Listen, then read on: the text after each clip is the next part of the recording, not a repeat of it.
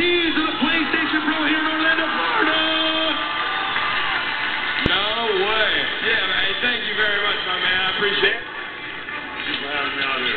Absolutely. Bo uh, Outlaw, ladies.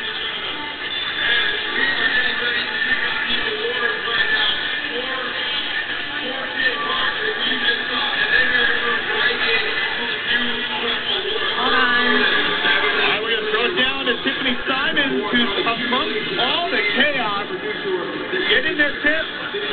Hi, Tess. I want you to do me a favor. Look in that camera and say, I just want to Dew Cup. I just want to Dew Cup. now, I know you're 14. You've experienced some things in your life, but has there ever been a moment like this?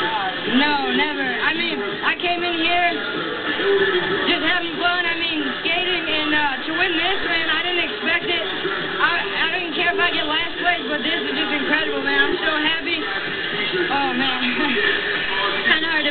You yourself out there like a pro. Uh, in all of the things that you've accomplished, you think you're ever going to feel better than this?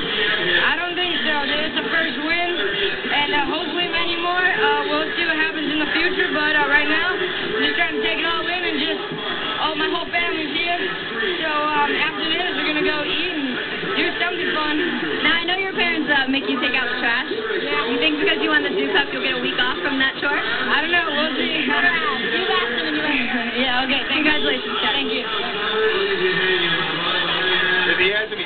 he can pay them with that 95 grand he just uh, do the chores. Chaz Ortiz, final result at the top of the PlayStation Pro leaderboard.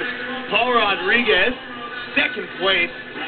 But unfortunately, Ryan Sheckler was way out there. Here's a season-long standings. This is how it winds up after an incredible season on the Dew Tour. Chaz Ortiz in the lead, Paul Rodriguez in second, and Ryan Sheckler in third. Wow, incredible skating all day long, incredible all weekend long. Now for Paul Zitzer, Chris Miller, Tiffany Simon, to our entire NBC Sports crew for working so very hard on this tour, making it the success that it is. I am Kenan Harkin, saying so long from Orlando, Florida. It's time now for us to enjoy some images from the 2008 season. Thanks a lot for being a part of the 2008 AST Dew Tour.